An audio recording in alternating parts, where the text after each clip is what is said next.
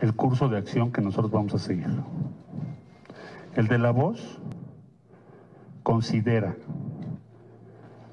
que si esas diferentes circunstancias que se dieron, incidencias en el proceso, se quedan igual, pues yo ya no tendría interés en estar en Morena. ¿Por qué? ¿Por qué razón? Y estoy consciente de lo que les estoy diciendo.